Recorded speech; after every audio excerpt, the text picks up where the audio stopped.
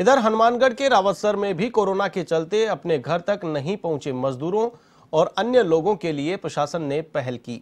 रावतसर में प्रशासन की ओर से एक बस को पंजाब के लिए रवाना किया गया।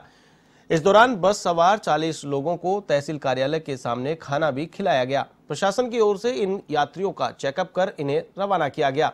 श्री कृष्ण बस सर्विस के मालिक दीप सिंह चौहान इन यात्रियों को पंजाब तक निशुल्क छोड़कर आ रहे हैं।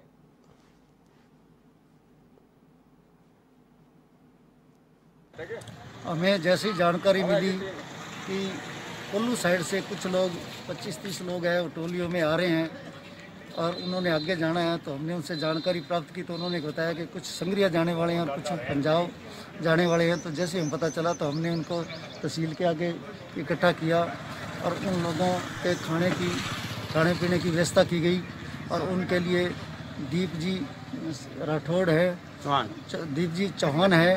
उन्होंने अपनी निःशुल्क बस की सेवाएँ भी उपलब्ध कराई और हम उन्हें उस बस से उनके गंतव्य स्थान तक पहुँचाने पहुँचा पहुँचा रहे हैं। और और भी कोई अगर आएँगे इस तरह से तो उसके लिए भी हम व्यवस्था करेंगे।